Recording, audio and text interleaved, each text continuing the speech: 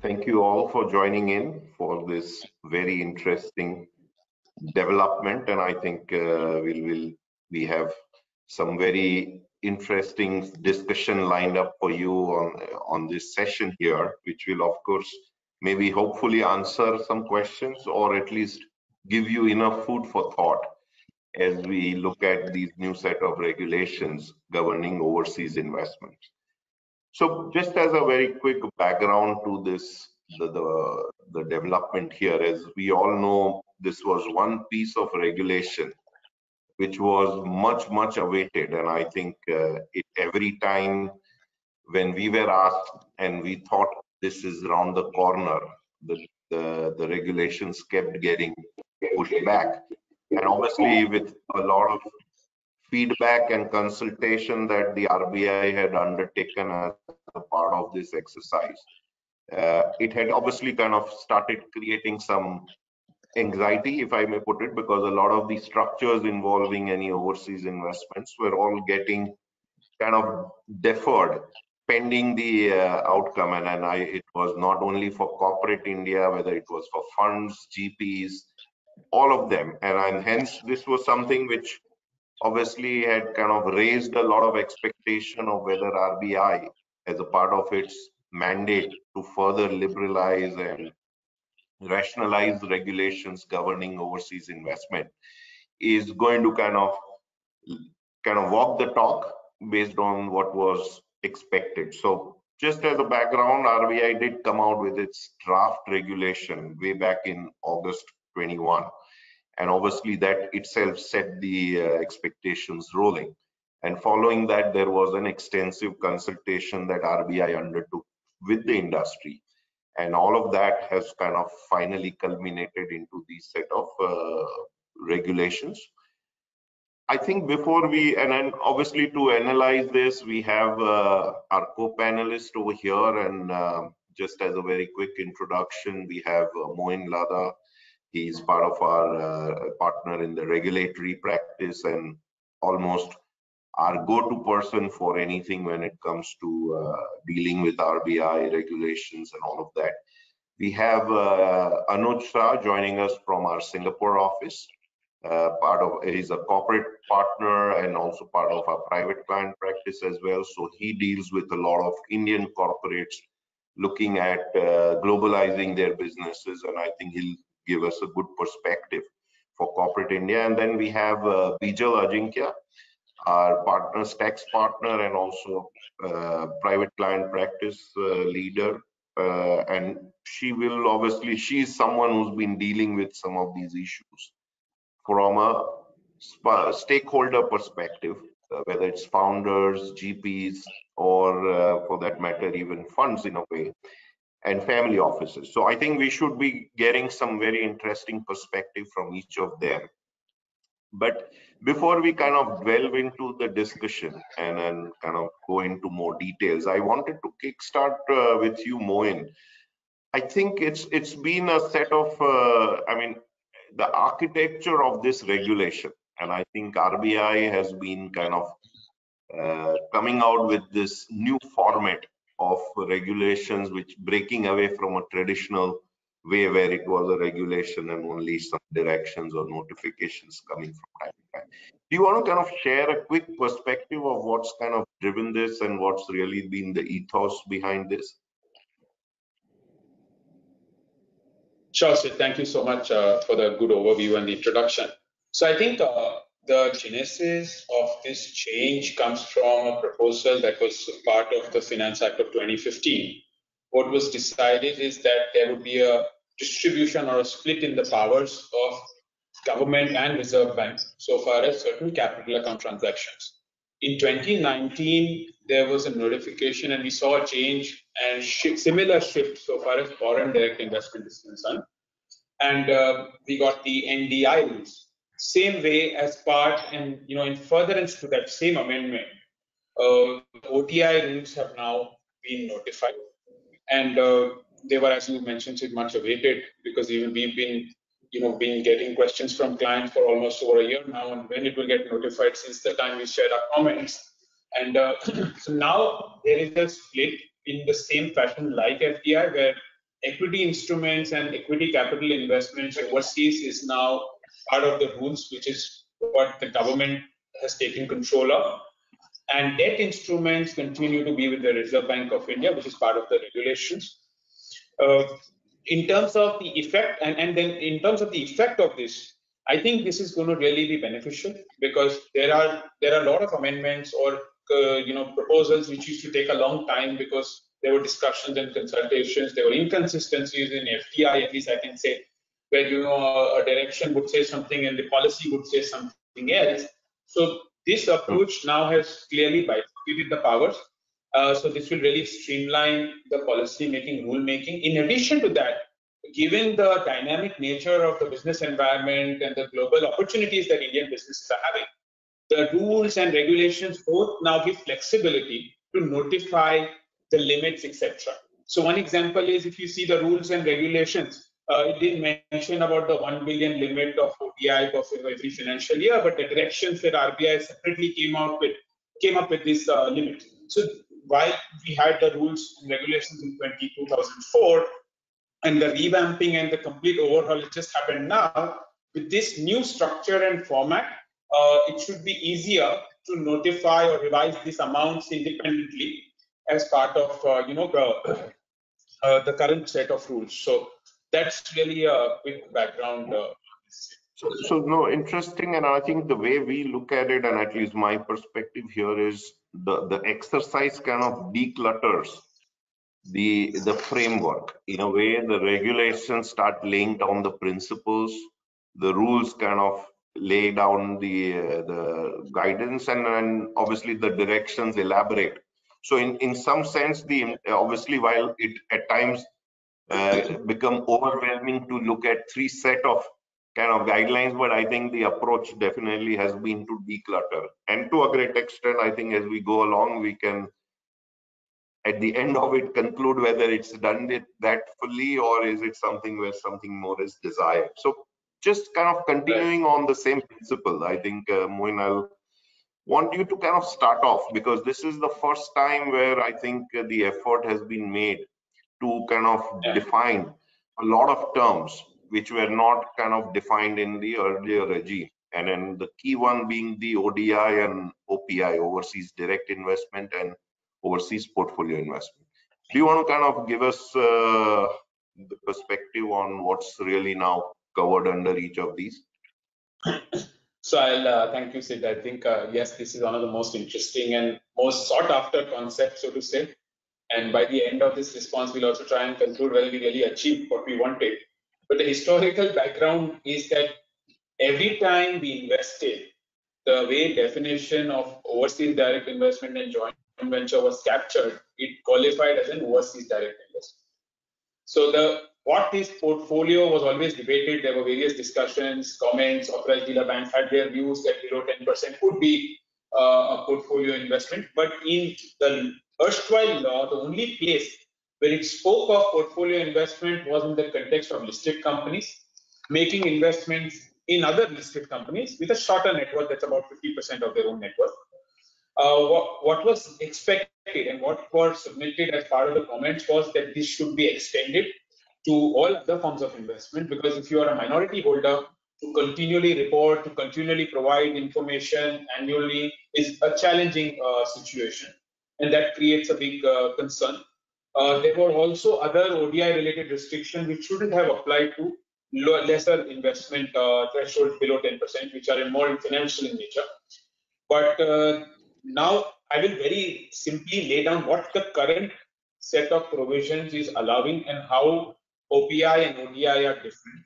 So if you're an Indian listed company, you're able to do both overseas direct investment and overseas portfolio investment. Portfolio investment obviously is with a lesser net worth of 50%, which was the case even earlier. If you're an unlisted Indian company, you're able to do portfolio only in listed companies in very specific situations. So just clarifying for everyone's benefit that you cannot do overseas portfolio investment in an unlisted company abroad at the moment as an unlisted company. The only cases where you can do, even in a listed companies, in a rights of bonus issue, uh, swap of shares, demerger, or amalgamation. The concern here is that how do I originally hold those shares And if I originally hold shares in the ODI route, because that is all that was permitted till now, how will I take advantage of overseas portfolio investment? So there is a clarification we are hoping to get around this. And everything that we're talking about is really, this is our reading, this is a new law. There is an FAQ clarification and discussion with RBI continuing even now. The other case is individuals. Uh, this was also very well debated because startup founders would invest initially, other people would try to use their funds and invest. So as an individual, uh, you can invest in listed companies, that is fine. And in unlisted companies also, an individual can do overseas portfolio investment, but only in case of ESOPs, where they're employees and they get stock options, sweat equity, or if they're getting a sort of a management share. Another key aspect which is relevant to distinguish and uh, you know categorize your investment as overseas direct or overseas portfolio is control. And for the first time, they've now mentioned the definition with a monetary threshold of shareholding, which is 10%. So if you have control in an entity, it becomes your overseas direct investment. If you cross 10% or without crossing 10%, you have certain rights or certain controlling rights. So I think to sum up, while we have taken the first step, actually defined portfolio investment for overseas investment, it is still uh, only limited to listed companies and in very few cases can individuals and unlisted companies access this. So it's a good step forward, but uh, there's a lot more that we desire and a lot more that was submitted and proposed as part of this uh, sort of amendment.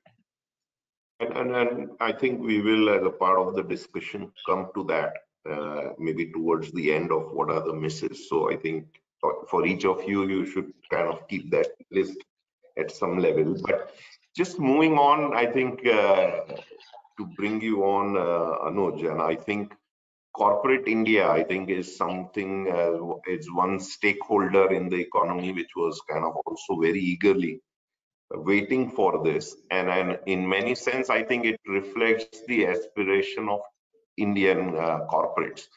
Today, the businesses and opportunities are far more global. And I think with the way the industry is grown, I think for a lot of them, uh, their aspiration is to become multinationals and an ODI regulation obviously becomes a threshold kind of regulation for many of them when they're looking at uh, investments overseas. How do you see the new set of regulations and I think uh, how would you see this kind of meeting the, those aspirations of the Indian corporates? Thank you for that question, Sid. You know, as you mentioned, we were all eagerly waiting for these regulations and more so we've been waiting for them uh, since the draft rules became public uh, for public comments uh, by the reserve bank of india last august you know as we were also discussing ahead of this call uh, this is a massive step in the journey of liberalization we feel and this significantly adds to uh, the government's mandate uh, of allowing indian corporates to have ease in doing business uh, to me personally, as we were also discussing in our wider group, this shows the sign of maturity of our businesses. And it's also a clear sign by the government and the Reserve Bank of India that they want Indian companies to go overseas, compete with the best of the world, uh, best of the companies in the world. And you know, now you've asked me, I'll list down several. That it's a full package if you see. Some are path-breaking changes, I would say. Some are small changes. But if you look at the package, I think it's very attractive and uh, really commendable job done to my mind. And you know, the devil's always in the details, so there are some misses as we'll discuss towards the end. Mm-hmm. But broadly, I feel uh, what they've done is fairly commendable. The two biggest changes that would significantly add, in my mind, uh, to the ability of Indian corporates to go international, compete with the best globally, are burying the ghost of round tripping and expressly blessing it with some belts and suspenders. And the second one is to permit Indian corporates, not in financial sector, services sector, to invest overseas in financial services sector. And we know that Indian corporates were significantly hamstrung in the past in pursuing their global aspirations. Several deals had to be aborted because of these uh, two issues. Uh, we tried to structure them in many ways, put our heads, several lawyers in the room, but several of these deals never saw the light of the day because of these two challenges. Now, my colleague Moin, who's an expert on regulatory matters, will delve much deeper into these issues. I don't want to steal his thunder anymore. Uh, so let Moin talk more about it. But if I have to talk of a few more aspects that I think will significantly add to the power of Indian corporates to acquire assets overseas, it would be first permitting deferred consideration. Uh, you know, we know that under these regulations, deferred in, uh, consideration for overseas investment has expressly been allowed. Uh, all this while we had this dichotomy that non-residents could acquire Indian assets and defer the consideration. But when Indian companies had to make outward remittances, uh, there was a lack of flexibility to defer the consideration. So in that sense, I feel there's been a leveling of that field. Uh, the regulations go on to say that there is no cap on the amount of deferred consideration or time period for deferment, which I think is a very welcome uh, uh proposal uh, by the government. And just they say that the term of the deferment should be defined as a definite period from the date of the agreement. Now, if I have to talk about a second gem, as I call it, uh, is mm -hmm. is that the new regulations now permit swaps under automatic route, and this can this can give so much fillip to deal making, the way we structure our deals. We know that under the erstwhile regulations, there was lack of clarity whether swaps are permitted or not uh, lawyers, advisors, accountants across firms would have different views. Some would say primary swaps are allowed. Some would say both primary and secondary are allowed. And then there will be several banks would say none of this is allowed. So it was a uh, total confusion in the earlier regime. Now under the new ODI regime, it has been clarified that ODI may be made or held by way of swap of shares. Uh, with the introduction of this provision, all kinds of swaps, primary and secondary, to my mind, are permitted under the automatic route I could tell you that still I hear there's some confusion amongst banks, uh, authorized dealers, lawyers, accountants. So, you know, this is uh, some of our quick interpretations. We were also discussing that uh, as we receive more clarification, some of it may change. Uh, but as of now, the plain reading of the law suggests that swaps are permitted, both primary and secondary. Uh, we'll have some uh, smaller hoops to cross, some amendments to be made to non-debt investment rules, etc., to operationalize these amendments. But I think it's more procedural in nature. Uh, the third big change to my mind is, you know, uh, focusing on this ease of doing business, is uh, ability to write off foreign investments because we had losses in uh, those foreign investments or restructure our foreign holdings. Now, these were, you know, these were just few things which were constraining the ability of Indian companies. And, you know, it was always looked with suspicion that you made investment. Why do you want to write off? Why do you want to restructure? And now suddenly it's a 360 uh, degree turn, if I may say, and there's so much trust being shown, so much, uh, I would say, uh, uh faith being shown in Indian government, uh, Indian businesses that go ahead, do what you do, uh, follow some bells and suspenders, but full flexibility to do things what you like. And to explain yeah. the restructuring part a little bit, uh, under the erstwhile regime, RBI approval was required for an unlisted Indian entity for restructuring the balance sheet of the overseas overseas entity, uh, involving write-off of up to 25% of the investment. Uh, now the restructuring of balance sheet is permitted for a foreign entity which has been incurring losses for previous two years as evidenced by the last audited balance sheets. There are some prerequisites such as a certification for diminution in value uh, on an arm's length basis by a registered valuer. Uh, and uh, then it says that the requirement of certificate applies uh, uh, where the amount of investment is more than $10 million or in case where the amount of such diminution exceeds 20%. So these were to my mind the big ticket changes, but if I can just touch say it, if I have uh, the two mm -hmm. more minutes, and then there are these package of small, small changes I mean, you are an expert of on AIF, and nobody understands it to my mind better than you, the GIFT City, and all the changes that have happened there. So we will at some stage take the moderator role and ask you that question on everything that has changed on the AIF front. But let's see even smaller changes. Let Indian entities not engaged in insurance sector may make ODI in general or health insurance. I mean, so much flexibility available to non uh, uh, non-finance companies in India. Now we have deemed approval for several things. I mean, now the law says that when a company that is under investigation or whose accounts have been declared NPAs wants to make an ODI, they don't need an NOC. uh, they need an NOC from a bank or the investigating agency, and if the concerned agency fails to provide you an NOC in 60 days, it's deemed up. So again, a very welcome change. Uh, the big flip on IFSC is what you will cover. I think there is clarification on debt investments. Earlier, there was a lot of confusion, all these funny structures, if I may say, buy one share and then put in debt in the foreign company. Now it's very clear. You have to have 10% shareholding or control in the company.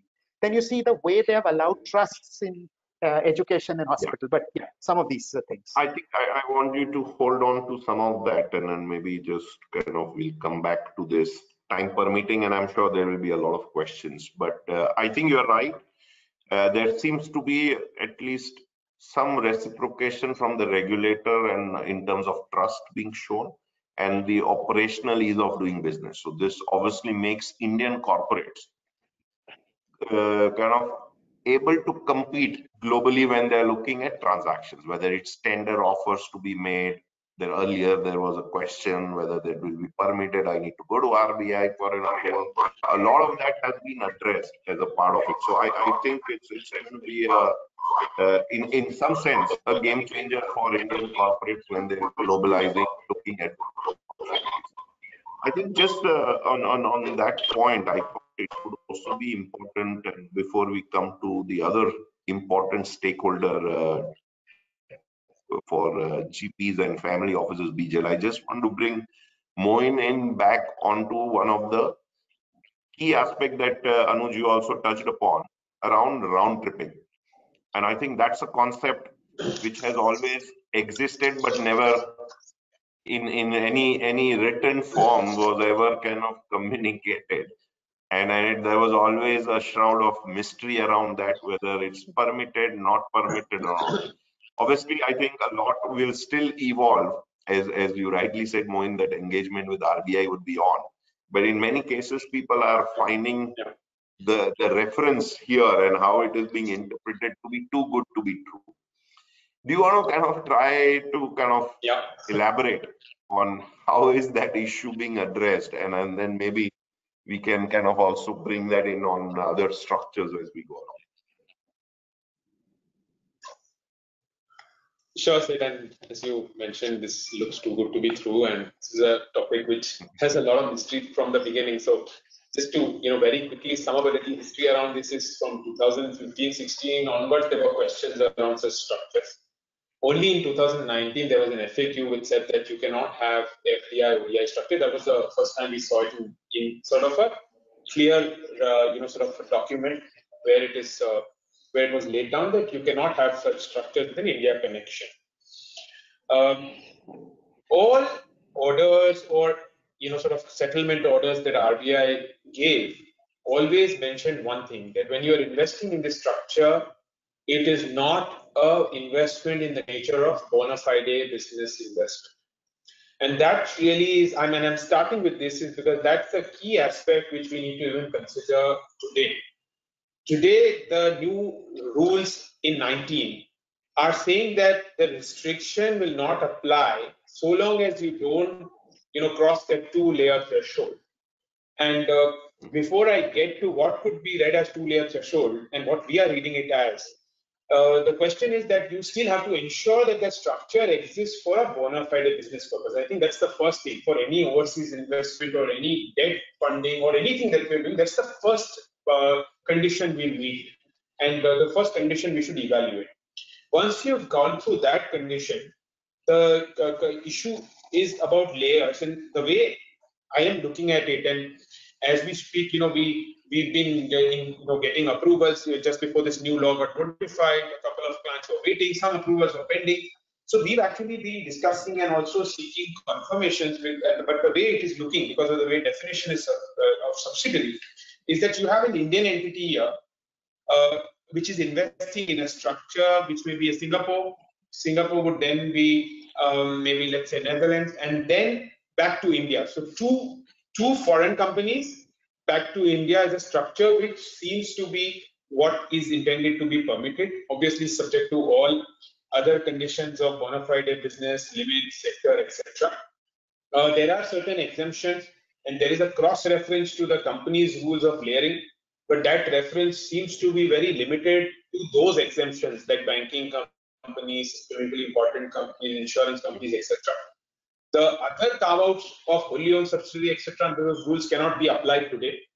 Uh, but and another thing is that uh, whether it is in IFSC, and I'm sure Sid is an expert, and Anuj said he's going to tell us more about it, or otherwise, this round tripping waiver doesn't seem to be available. And mm-hmm. so, therefore, if we are having these layer structures up to two layers, uh, it should now be allowed. But I would recommend that all conditions of bona fide business be discussed, and you discuss this with your authorized dealer bank, probably get a written clarification, because all of this is currently in the you know currently very new law we are all reading it interpreting it and they may come up uh, with sort of clarification still. So i think uh, the other thing is that when we whenever we got approvals there were several conditions on how we will do business what kind of dividend payments will be done what repatriation will be done. All of those also are not here. So this discussion of liberalizing this from 2019 has finally seen light of the day, and I think it's a welcome change. And I'm uh, hopeful that you know a lot of these genuine business structures where there is an India connection uh, that uh, can now will now be easily you know possible to make investments in, because otherwise the timeline, if you go under the approval, is substantial. You know. Yeah. Yeah, I think Anuj, you want to come in with some. I want to, you know, I want to ask a question to Moin, which I am getting asked by a lot of my clients. There and which is because everyone thinks it is too good to be true, as you said, that we used to say there was a lot of doubt on investments, whether investments is bona fide business activity. And earlier, uh, we'll go pillar to post, uh, everyone will have different views. And now the regs sort of, to me, make it very clear that investment is a bona fide activity, but you know, suddenly we're all finding it too good to be true. And investments can only be made in a bona fide activity. And more, so I thought, you know, why not Moin clarifies at least, and we know this is our personal view. Some of it may change when clarifications come, but at this point in time, uh, is it too good to be? So, Anuj, uh, you're, Anuj, you're right. Uh, currently, there is a window where one could say that just investment could be a bona fide business activity. And uh, I'm not sure if you want to deal with it when we speak more about financial services related liberalization, but that is there. And uh, probably when we're discussing that aspect, we can get into more detail how. Um, also, you may not necessarily need to be regulated abroad. You could just be in the business of holding investments, but it is subject to yeah. certain conditions. So I don't know. I'll, I'll, leave it to see if I should continue now or should we come back to that and discuss in more detail. No, we, we, we can maybe, I think we can come back uh, to that separately because I think, but I think the way I would summarize this uh, on the round tripping, I think including our clients our partner here also is still in that zone of too good to be true, as you can see. and, and, and, I think uh, that's that's the. Uh, but I, I definitely think RBI has obviously taken a, a giant leap, if I may put it.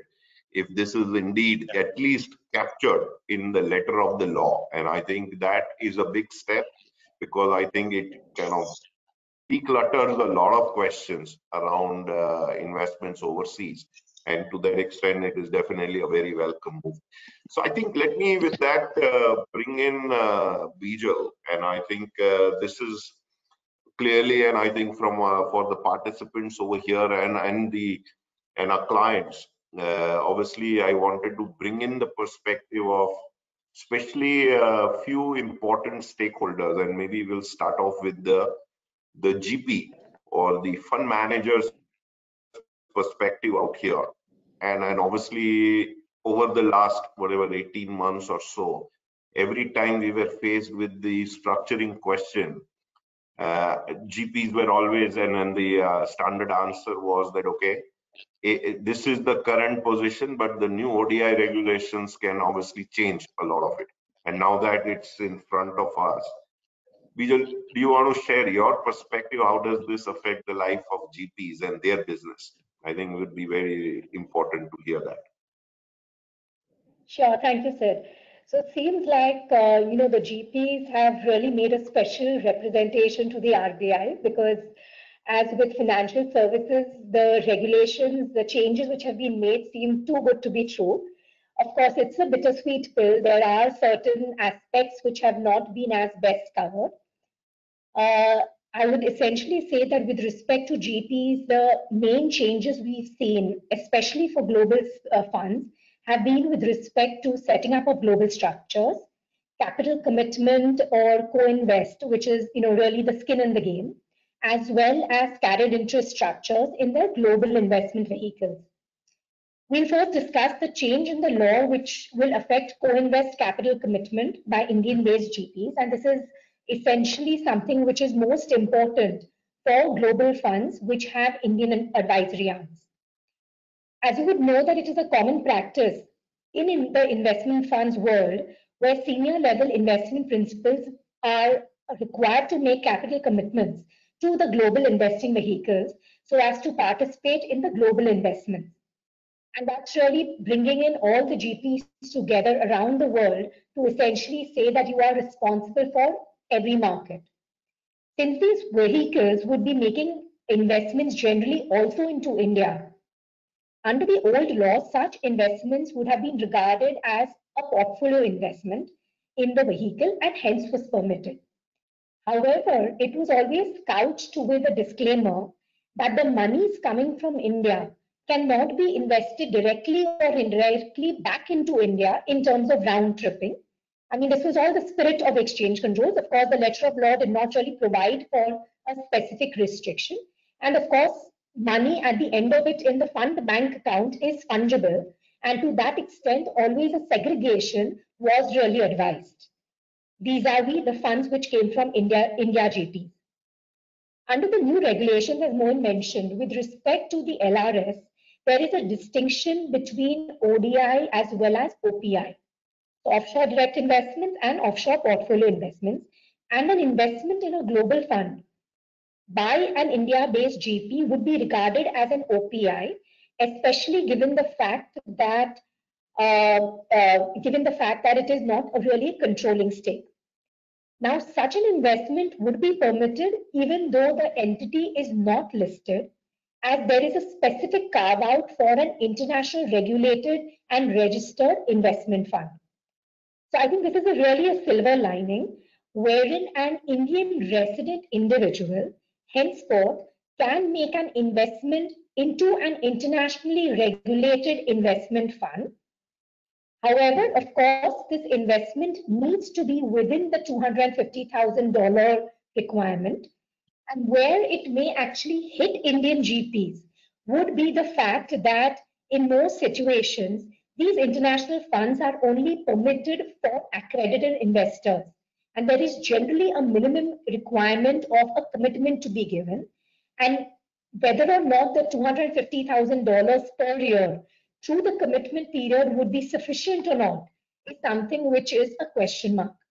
However, there are structures which could be considered by these India-based GPs for essentially making the co-invest obligations.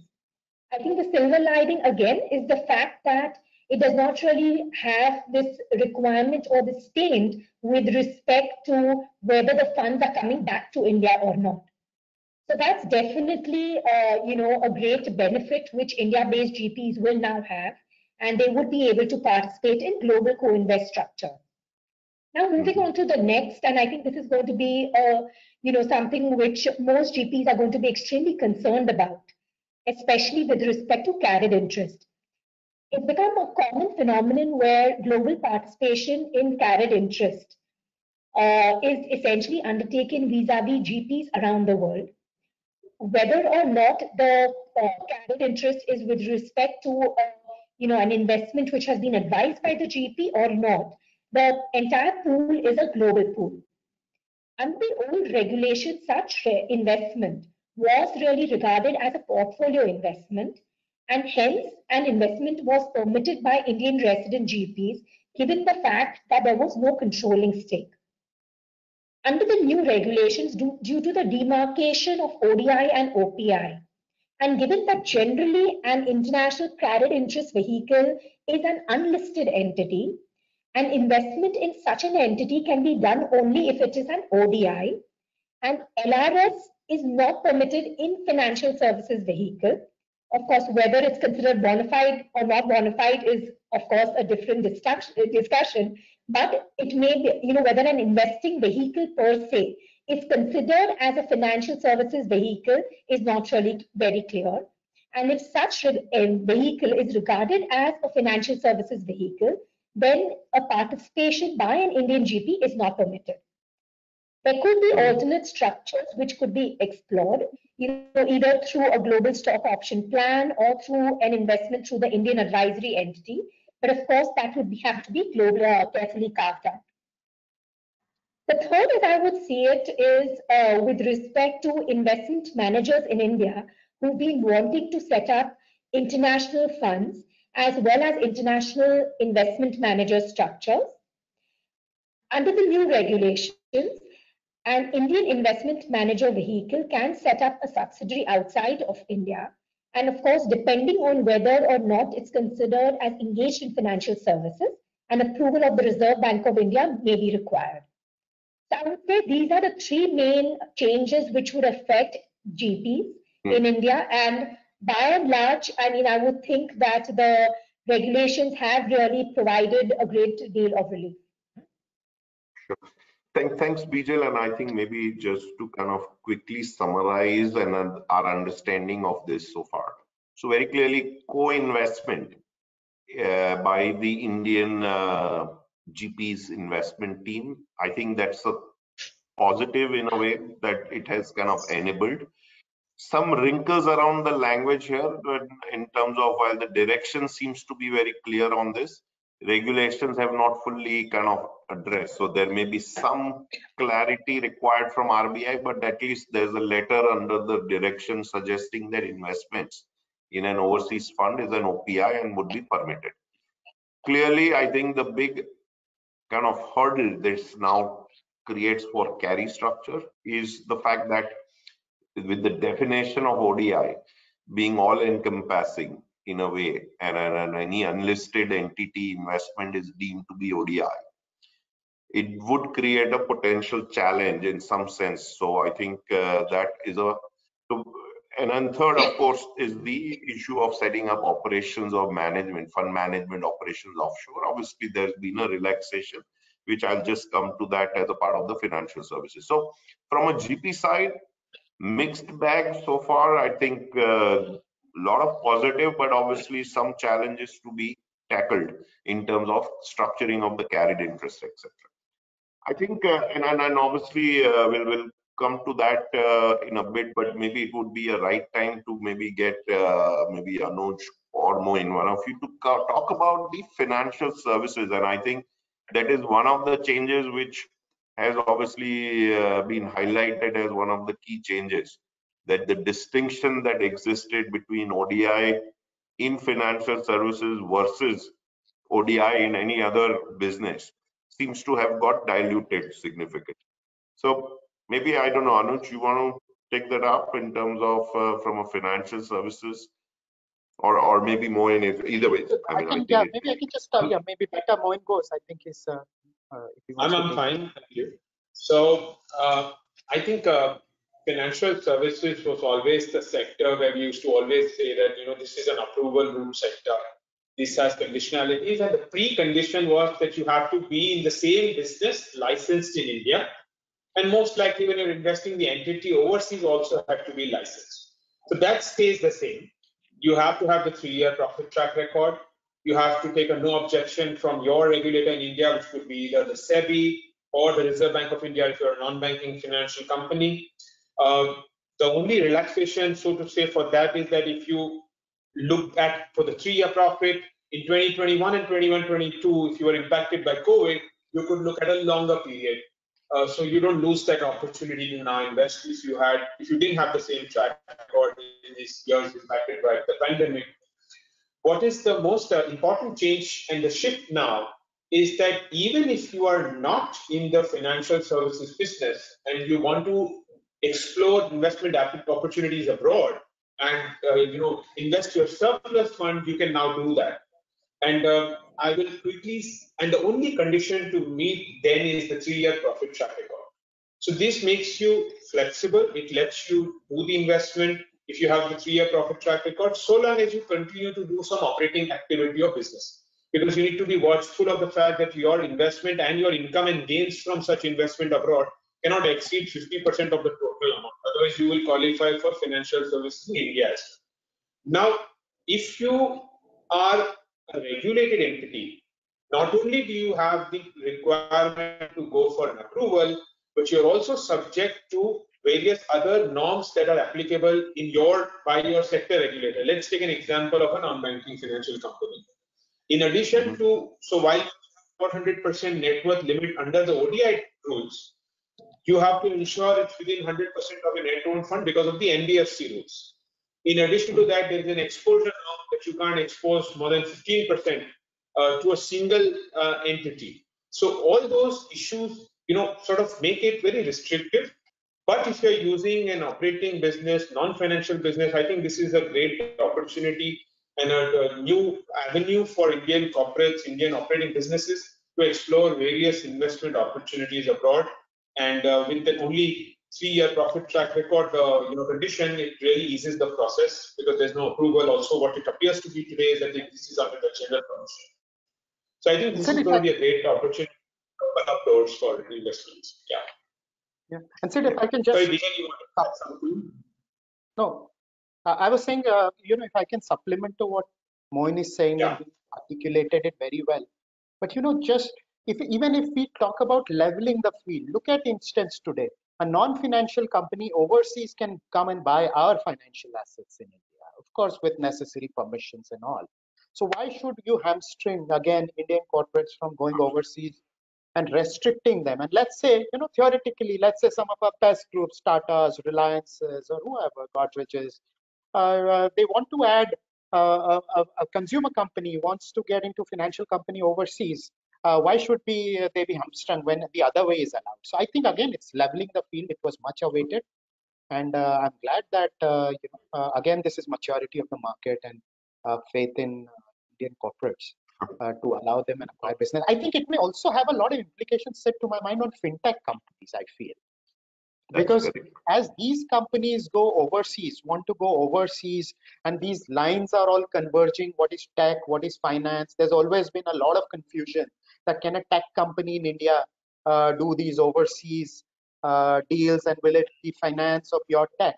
So those uh, that that gives a lot of fillip and a lot of tailwinds to those companies to go outside and uh, do these acquisitions. Yeah, no, so I think you're right, Anuj, and, and I think it does create a kind of a level playing field in a way. And, and, and I think uh, this also kind of opens up a lot of opportunities for from a from an industry perspective. I think clearly this is one big change for fund managers as well. And I think this is something which will trigger a lot of them kind of whether it is setting up operations outside India or in GIFT. And I think with that, maybe I thought I should also uh, touch upon uh, IFSC and I think how the regulations have kind of dealt with that. So maybe I'll just take a few minutes to kind of give some context here because I think IFSC under the regulations has been given a special treatment. And I mean, I think this is not very surprising in a way how we have seen this evolve and to be fair i think with its constitution and the authority ifsc authority taking charge uh, in in uh, 2020 and uh, where they kind of actually started promoting and building this jurisdiction as a as an international finance center comparable to any other global markets. And this seems to be driven primarily by two objective and maybe comfort if you may put it this way. One clearly i think ifsc is something which uh, needs to be promoted because obviously that's relatively a new kid in the block and when it is competing with more developed international finance centers like uh, singapore or uh, luxembourg or mauritius for that matter or dubai i think it needed uh, some kind of support policy support. But more importantly, I think while giving it a deemed foreign territory status, RBI has also recognized the fact that any outbound investment into IFSC, even though it goes as foreign currency, does not leave the shores of the country. And to that extent, unlike the ODI to non-IFSC, this is something where they have lesser concern of really a foreign exchange flowing out. So combined reading of that, uh, and of course with the great effort being put in by the IFSC authority and all in putting representations, I think there has been a clear carve out made for any investment being made by residents into IFSC. So obviously that's going to be a bright spot in a way when you look at uh, fund structures, when you look at family offices, or for that matter, even entities looking to engage in financial services uh, like aircraft leasing and all. So this kind of opens up IFSC for any resident.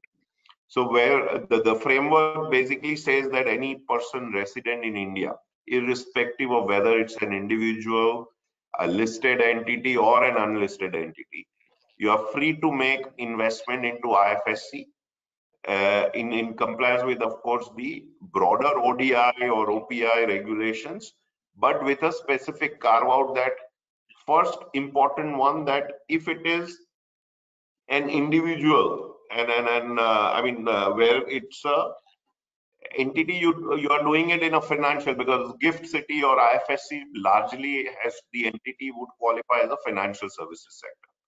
The conditions of financial investing in a financial services both by indian entities engaged in financial services or by entities not engaged in financial services which moin just touched upon one of the condition which has been carved out which is a big relief is that if the indian entity is not in a financial services space it can go ahead and make investments into a gift city without having to meet the net profit criteria.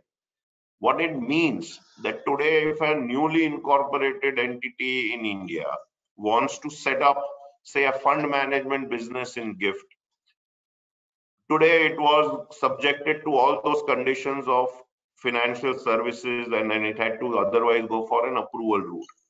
This kind of opens up the opportunity for individuals or Indian GPs to go out and create fund management entities in uh, Gift City without the need for a prior approval or having to go back for uh, approval from RBI because of that. The second, I think, is uh, also an investment in funds, and I think that is another big one as I look at it. That investment by Indian entities in funds which are organized or investment funds or vehicles which are organized in Gift City has been deemed to be a OPI and a portfolio investment. And that again creates or positions GIFT as a great platform for Indian businesses or for Indian investors to invest overseas. And I think there is a growing community of Indian investors uh, who are looking at opportunities overseas and fund managers who are looking to tap into this. I think this change can be a game changer in using GIFT as a platform for such investments overseas. And I think that that kind of makes it very, very attractive. Uh, of course, this will be treated as an LRS, but the fact that it is an OPI, and I think again the implied reading of this uh, in a way, OPI is something which is not subjected, at least from the plain reading, to the round tripping concerns. And I think there was always this question that when I'm making a portfolio investment overseas, how do I control or manage uh, these investments where uh, whether they have a downstream investments into India? And then to that extent, the current reading seems to suggest that if it's a portfolio investment, where it's a non-control, then you don't have to be worried or you don't, you are not constrained by having to see whether there's a one layer, two layer or a complex structure involved. So that I think becomes a very, very important change. Of course, more guidance from RBI will emerge, I feel, uh, as uh, these structures get uh, uh kind of uh, more utilized. I think more clarity will come around that. So to that extent, the only condition that exists, and I think just as a constraint, if you may put it, is that anyone individual basically investing into a gift city financial services entity that gift city entity cannot have a step down subsidiary or entities outside so to that extent a single layer structure is what has been permitted today for residents to invest in Gift City. But I would say this in many ways would become a game changer for uh, for Indians investing abroad as well as for fund managers. And Gift has already started seeing a lot of uh, kind of uh, shift. So I think that that's something which I wanted to also kind of lay out for the audience here. I'm also mindful of the time, so I, I think maybe we'll. Yeah, yeah.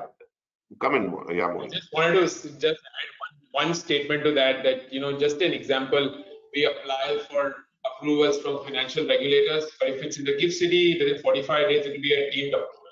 So that's also another Absolutely. relief. Yeah, at, so I think they've, they've really put pressure on the other relevant regulators. So you used to kind of wait for months to get an NOC for an Indian entity to set up or invest in GIFT. I think here it's a deemed approval if the regulator does not uh, approve within 45 days. Very progressive and, and uh, bring efficiency to the process. Maybe I'll come back to you, Bijal, uh, on this. I think one of the other important stakeholder, if you may put it, has been the family offices or an ultra HNI is looking at investing overseas. How does this new set of uh, ODI regulation kind of really uh, cater to their needs? If you can kind of quickly touch upon that. Sure, sure. Yeah, so definitely this has been a new trend which we have seen over the last two years where Indian families desire to have a global, uh, you know, exposure to investing and have been keen to invest, you know, outside of India. Under the previous regulations, family offices would generally, uh, you know, be an investing vehicle or an entity engaged in financial services, and hence would require an RBI approval to set up a subsidiary outside of India. This approval was highly discretionary, and whether or not it would be available was always a question mark. However, now a and a company which was not engaged in financial services was not permitted to set up a wholly owned subsidiary outside of India, which would be just a mere investing vehicle. A welcome change, as Moin mentioned, especially in the financial services space, where, which has been made, uh, where an investment in an offshore financial services company is permitted, even if at all the Indian company is an operating company and not an entity engaged in financial services. Hence, a family office which has some operating business can henceforth set up a subsidiary outside of India and make serve and make investments in that particular company, which would then make the financial instrument investment they would like to without any uh, regulatory approvals, so long as that Indian company has a positive net worth for at least three years. And of course, the COVID conditions which Moin mentioned would equally apply here. Family offices which are registered with RBI uh, you know, as a financial services entity would require to take an approval of the RBI. And of course, they would require a positive net worth too for three years. This will really be a big sigh of relief to a lot, number of Indian families who've been extremely desirous of taking, uh, you know, setting up a global family office outside of India. So that's the change, you know, which will affect Indian families. And and then what about uh, founders and uh, others who would be, I mean, whether the implications of this on flip structures or something which we've seen? Yeah, so I think, uh, you know, uh, especially with COVID, we've seen a number of techies as well as inventors really relocating to India from the West Coast and the likes. And we've seen the birth of a number of tech companies. With this birth of tech companies all in India, we've seen a number of them really uh, you know, recognizing the fact that they may get better valuation from investors, including private equity, if they have an international holding structure, as well as the listing possibilities would be better if they are outside of India. Now, such a flip requires an RBI approval, and though under the new regulations, Indian resident individuals can invest up to $250,000 in an operating company outside of India, they cannot invest if the control of such company is in the hands of the of an Indian resident, as well as there are two levels of subsidiaries of this particular offshore company. Now, I think this is something which will be like, uh, you know, a showstopper for a number of founders, you know, especially where a company is at a stage where they do require much more handholding. And to that extent, the control factor which may be required and to that extent, though this may be acceptable to a number of investors, but may not really be acceptable to founders who would require control. So if the control criteria can be reconsidered, that would really be great. I think it's it's going to be, and I think uh, obviously uh, in in in one sense it has kind of by recognizing round tripping has kind of supported in some sense structures with uh, overseas holding. On the other hand, with the control and individual uh, basically uh, being all of this classified as ODI in any unlisted entity, I think it will have some wrinkle around that. So obviously, uh, one needs to kind of see how this unfolds, but definitely a point to uh, uh, keep in mind. I think uh, I know we are all uh, running out of time, and I think there are already questions coming. And just for the audience here, you may put, post your questions uh, in the chat box. We'll try to cover as many as we can uh, in the within the given time constraint. So, but before I wrap up, maybe from uh, each of you and maybe uh, if you want to kind of quickly touch upon what do you think were kind of the misses in your from your client perspective from your uh, assessment. I think that would also be helpful because this is an exercise which will be ongoing the consultation. So i think it would be helpful to get some perspective Moin, you want to go first? Yes yes for sure. So I think uh, very quickly I, on the topics that I really spoke of, I'll try and capture those. So ODI, OPI has created a very strange situation where if now an unlisted company wants to invest in a listed company abroad and the investment is below 10, they may not be able to do it because it qualifies as an overseas portfolio investment and that's only allowed in certain cases. So that is one thing that needs to get clarified because I don't have the right opportunity to invest. Second is that the definition of portfolio investment, in my view, should expand to unlisted investments as well. That's when there'll be an advantage, uh, you know, of having lesser disclosure requirements, lesser procedures to be followed. That is one.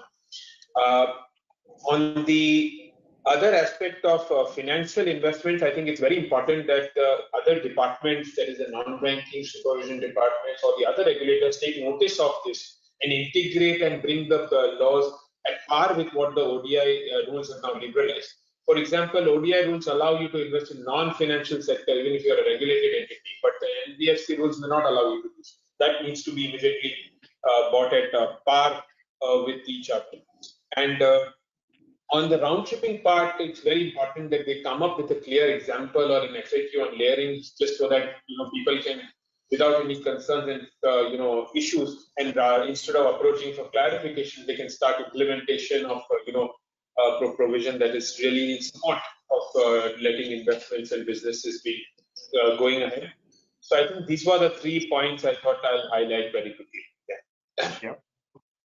valid valid points i think i don't know maybe anuj bijal you guys have anything to quickly in, share in the interest of, yeah in the interest of time sid i thought one big uh, uh, change or a clarification that uh, RBI, perhaps if I were to ask, I would say that look on the concept of net worth.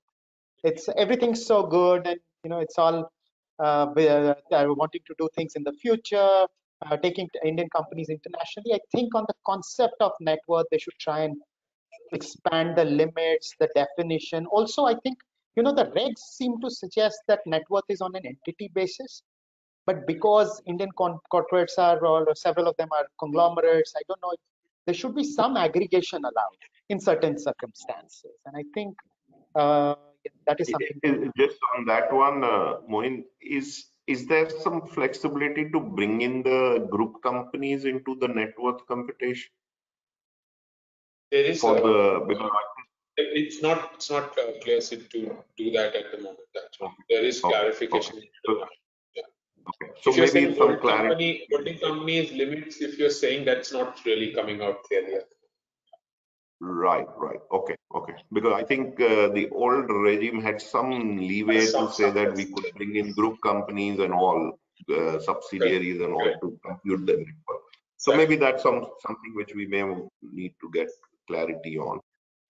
Yeah. Uh, Bijal, anything from your end?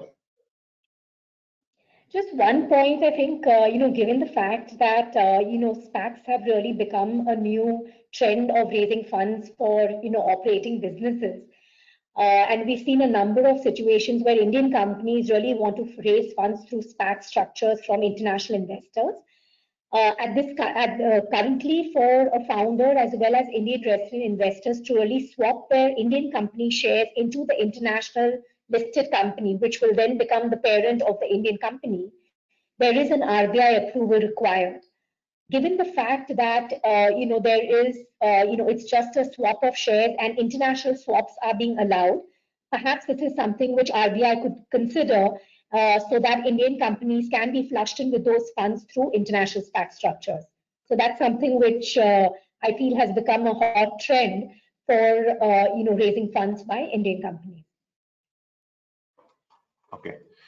So no, I think uh, thank, thanks a lot. I think all the panelists and obviously before I we jump into the question, I'll try and direct it to the relevant folks here. But I think uh, it, it's been a very engaging discussion, both while preparing for this, because obviously we had our own deliberations around a lot of these provisions, and you can see there's obviously some more clarity needed. But I would say I think it's been a great uh, move on the part of RBI, and I think um, from a from a policy perspective, it kind of very clearly indicates a confident India, a, a confident regulator, kind of taking a step ahead towards globalizing the Indian asset, and I think that's something which I would say will be uh, creating a platform to kind of take uh, Indian corporates, Indian uh, stakeholders into a very different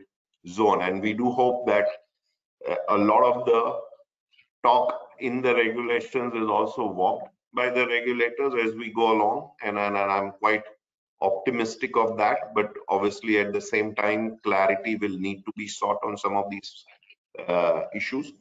I think uh, the way I look at it, uh, it seems to suggest that uh, the regulations will take us closer to the promised land of uh, where Indian businesses, Indian residents can kind of position themselves uh, as competitively to global kind of audience. So I think with that, uh, I, I, would like to thank each of you for sharing your thoughts. Obviously, we'll be happy to respond to other questions which we may drop, but I think I'll open this for the questions from the audience and maybe we'll try and cover as many as we can. I think the first one uh, is whether an investment in a Singapore VCC is allowed by Indian resident individuals. Uh, Moin, do you want to kind of take a shot at that? So I think uh, for individuals, investment is now allowed in two categories. Uh, it will be ODI and OPI. And I would like Bijal or Chad because if it's not a if this VCC is uh, going to be treated as uh, an unlisted debt investment or equity investment is the question. Uh, if it is being treated as an unlisted debt, it will be part of OPI. Yeah. So. Yeah, and just to add to what Noel said, uh, and uh, you know if the VCC is essentially registered and regulated as an investment fund, uh, you know in Singapore, uh, you know to that extent, uh, investment by an Indian resident individual may be permitted. Yeah. So that's another point. Right. It is a regulated fund. It will be permitted, but you know even under even you know this whole ODI rules have that's now right. impacted the way LRS is worded and LRS has now, you know, said ODI and OPI, and OPI per se is giving a picture of listed investments other than a very limited category of investments. So that is also something that is expected to be very clearly uh, laid down because earlier it was mutual funds, venture capital funds, and a lot of other things were mentioned which are now been now very uh, restrictive. It, it, appears to be restrictive, but, but I agree, yeah, agree so, with but, yeah, yeah, I think we'll need to uh, because I think the direction seems to be suggesting that any any vehicle which is an investment fund and then to that extent it should be possible to qualify VCC as an investment right. fund. I think that has to be permitted at least for individuals and listed entity. That seems to be something which has been permitted.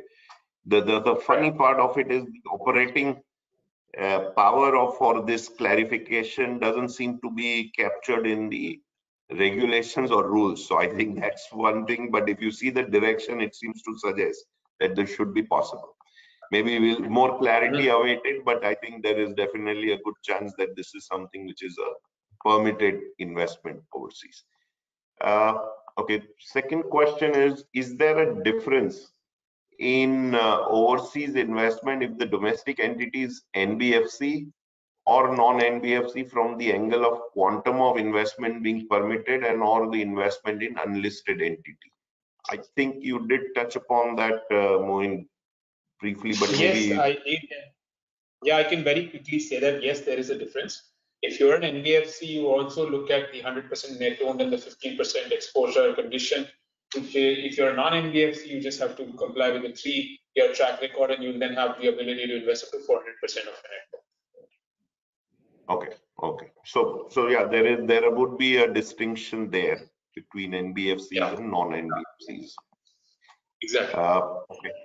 Okay. The next one is uh, is round tripping ODI to FDI transaction in multi-layer companies eased in this proposed regulations or not. I think we've kind of covered this as a part of our discussion. It seems it has been eased to a certain extent, but definitely uh, more clarity is uh, required. Uh, clearly, one thing that seems to be clear is that the OPI may not be subjected to those conditionalities. At least that's the reading. So that itself is a big clarity in my view for those who are Yeah. investing abroad. The next one is can an individual invest in a overseas company which has a WOS in India? I think uh, maybe uh, Bijal, you want to look at it and maybe Moin, one of you can. Um, uh, either either of us, Bijal, you want to go ahead or or you want to Go ahead, please. No, no, please go ahead. Okay, so I think that question uh, Sid already mentioned whether it's an overseas portfolio investment or if it's an overseas direct investment. If you have control, then no subsidiary is allowed. Forget about India; it can't be allowed anywhere. And if it's portfolio investment where you don't have control, then uh, uh, round tripping related provisions, as long as they are complied with, that is again my view. You know, if given the current reading, it should be all right. And again, one can say that if it's pure portfolio, we can say that it's not subject to 19 at all. So to that extent, if it is portfolio investment, it's all right. That is within 10% without control. Okay, yep. I think the next one uh, is please clarify if NRI holding an Indian passport but residing outside India can invest in a GIFT AIF. I think it's from Ashish Ghosh. I'll take that. Uh, I think uh, today there is no restriction for participation by NRIs or NR in in a GIFT AIF and then to that extent uh, that has been actually the bedrock of the AIF regulations and GIFT to facilitate global investment. So there's no restriction on that. Yes there is a condition which applies with respect to if this GIFT AIF is investing in India as an FPI then you have FPI conditionalities which will need to be looked into so if this NRI it turns out to be a beneficial owner of this GIFT AIF, which is registering as an FPI, then you may run into a challenge from an FPI regulation perspective. But the GIFT regulations are pretty uh, clear and flexible. On the other hand, if this GIFT AIF is a feeder into an onshore AIF, we don't see any limitation uh, of participation by NRIs or even non-NRIs in those structures. Uh, just going on to the next one, uh, and I think which we may have touched upon, this is from Kaushik Mitra. Is there any change in position under the new ODI regulation with respect to receipt of deferred compensation by Indian entities?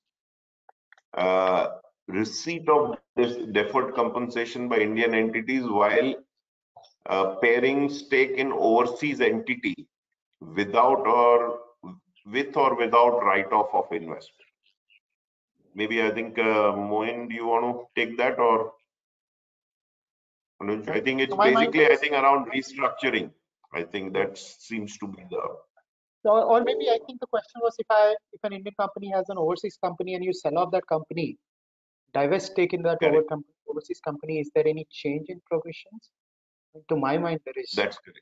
some dates and uh, you know uh, some uh, no significant change is what I can say. But Kaushik, if you want to drop me a line, uh, Yeah, we'll share maybe our that will be address, some- uh, Yeah, I think Anuj is best if he he drops us a line because it's, it's a it's a double-edged yeah, because it's all yeah no Yeah. broad changes for sure. But if there is some nuanced out there, uh, we can examine and drop you. back. Yeah. So, so here I think uh, this is where the Indian entity is deferring its receipt with respect to uh, divestment of its stake. Uh, I think that is something where I think the the deferment that we talked about Yeah, related to payout to a non-resident. An Indian entity is buying a stake and is paying out to a non-resident on a deferred basis. So that seems to have been clearly addressed over here. This question seems to be where the Indian entity having divested its stake uh, and is deferring the receipt of the uh, divestment proceeds. I think if, if that's the question, I think we may have to look at it because I think there is a 90 day period for you to realize the uh, uh, proceeds. So whether that would allow deferment for, uh, and and if so, that has not been directly addressed over here. So that is something which may need to be examined from a regulatory perspective. Uh, okay, the next one is how do we interpret the operating criteria for GPs? Uh, so I think, uh, Bijal, do you want to kind of say whether, I think what I understood the question is that would a GP entity offshore be treated as an operating entity uh, for the purpose of ODI or whether that would be uh, treated differently? Uh, so essentially, it really depends what we are looking at the investment for. If the GP entity is an entity which is, uh, you know, into management services, then of course it would be, you know, it could be considered as an operating company. But if this GP entity is uh, merely an entity which is essentially uh, a pooling vehicle for co-invest or carried interest, then perhaps not. So it would really depend on uh, the nature of operations which uh, are considered to be carried out. I, do- I, So I be- I think, must yeah, admit, I don't, I have not understood the question too well. Yeah, no, no, no. I think uh, again, this will be a little more nuanced as we go along because the question seems to be that whether if I want, as an Indian resident, I want to invest in a GP entity. If it is an operating entity, whether it would, if it is an operating, would it be treated as a financial services? In which case, again, as an individual, I may have a limitation. If it is not a financial services, then maybe there may be a ODI, uh, whether I would be permitted. So I think, again, this is something we will need to see, but I think a GP ownership, where a GP has some operations and not into financial services, I think maybe something that may be. And if you see the bona fide business definition, it is very wide.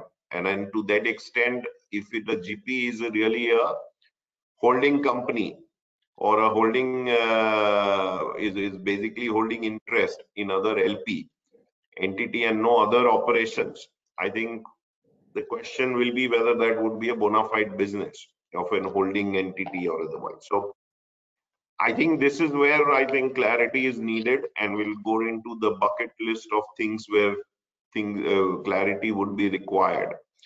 Uh, obviously, uh, it's an important question from a fund manager perspective, and obviously there's uh, one other nuance over here. I think because foreign entity under this regulation has been defined uh, to meet certain criteria and limitation of liability is one of the criteria. Now, obviously, uh, the question that came up in our deliberation that if I were to become a GP as an individual directly into an LP offshore, there you might run into a challenge because a GP typically would have unlimited liability, whereas other LPs would have limited liability, and that may not qualify clearly to meet the condition under the foreign entity. So I think one needs to kind of factor that in in the structure. I think we may take one uh, or two last questions. I think uh, in case of transfer of ODI, which involves write-off, how do you determine the arm's length price? This is from uh, Ritika Gangwal. Uh, do you want to take that, uh, Moin? Yeah, yeah, sure. So I think, uh, see, pricing guidelines is now prescribed as the arm's length price determined as per internationally acceptable pricing guidelines. And the way we are reading it is that if it will be in a similar way like we look at FDI, that if there's an Indian party involved, it's you wouldn't be paying more than what the cap is. Uh, and you know, and if it's the foreign uh, party who's buying from an Indian party in any way, you know, there's going to be a floor price, and you would have to get more than that. Now that being said, if there is a write-off or if there is a reduction in the value of the asset or your investment abroad, then your price that will be determined as the arm's length price will actually be the price that it's valued at. So write-off will be a separate aspect dependent on how much you initially committed or invested. But the value will only be reflective of what it is worth today. So I invested 100 and it's worth 80. The value that a valuer will determine will be 80 and I'll do the deal at 80. The write-off that I'm doing will be a diminution in value for which I'll follow a separate process. And as Anuj mentioned, there is a the way we are reading it is it appears to be a liberalization, and uh, you may not need to go for a special approval for that. Yeah.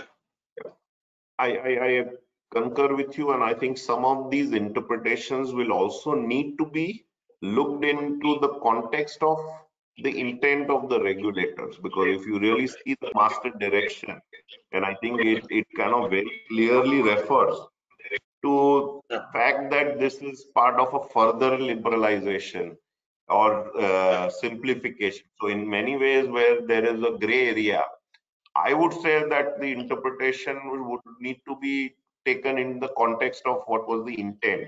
If it was to liberalize, I think uh, it, it should be something that should be. We have an interesting question, and I think uh, which is about uh, this is from Pallavi Khandelwal. If SBLC is backed by a corporate guarantee, from a group company of an Indian entity, then does it require to be reckoned towards a for, uh, financial commitment limit of both Indian entity and the group company? it's an interesting one that if a group company is give go uh, deeper and examine this, but to my mind, there is no reason it should be reckoned uh, towards the limit of both because one will issue SBLC too. But these are clever structuring. We'll have to see. One can say, are you meeting the director? But yeah, I think relevant that is, yeah. Yeah, so I think somewhere this is a group company guarantee we are saying should not, at least our current view is it should not be double counted in Exactly. both the entities. That won't be the uh, intent, obviously. And lastly, I think, uh, can individuals invest in offshore debt securities? This is a question from Pankuri Swamin. I think, uh, again, uh, from a portfolio investment, and I think, uh, Moin, please correct me, the way I read this, clearly, uh, listed debt securities is something which is covered within the uh, portfolio investment uh, for individuals. And to that extent that may be permitted. Unlisted debt investments is something which may not qualify for uh, for this purpose i think that's the broad reading of it but uh, i don't know if you have a different view on that No, I fully agree with you. So that that is the view, and uh, only time when an individual can expose to debt is if there is an ODI. So that that's I think not in a situation like this. Yeah. That's correct. No, I think uh, maybe uh, we'll we'll need to kind of wrap up. I know it has been a long session, but I think as engaging, and I'm sure everyone has some food for thought to take away, including us. But I wanted to thank the audience. I think we uh, we've obviously had very very active participation in questions, and we do hope that we have tried to demystify some of the uh, provisions of the new regulations. But definitely feel free to reach out to us. I think uh, we will continue to kind of study this in more detail and as we get more clarity we'll be happy to provide uh, answers to your queries. So with that uh, i'd like to thank all the panelists once again and uh, we definitely look forward to having more engaging discussion on this uh, as we go along. Thank you everyone and we'll thank you um, Siddharth. thank you thank, you. you thank you bye bye thank you